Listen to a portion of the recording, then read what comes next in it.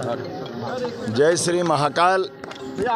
विक्रमादित्य काल से लेकर के राजा सूरसेन यादव तक और अभी परवर्ती काल में महाजी सिंधिया द्वारा निर्मित बाबा महाकाल के इस मंदिर में मैं आज अपने आप को कृतार्थ मानता हूँ। मुखिया होने के नाते से सास की पूजा यद्यपि दोपहर बारह बजे है लेकिन मैंने संकल्प लेकर के पूजा करके हमारी जो परंपरा है सास की व्यवस्थाओं का विधान करने का प्रयास किया है। बाबा महाकाल, सब पे कृपा करें, मैंने ये आशीर्वाद मांगा है।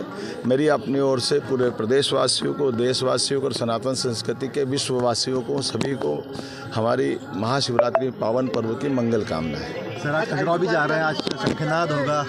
निश्चित रूप से निश्चित रूप से यहाँ से मैं बोरेश्वर महादेव जा रहा हूँ। जहाँ बोरेश्वर महादेव जहाँ जल चढ़ता तो चार हज़ार साल पुरानी दंगवाड़ा संस्कृति है।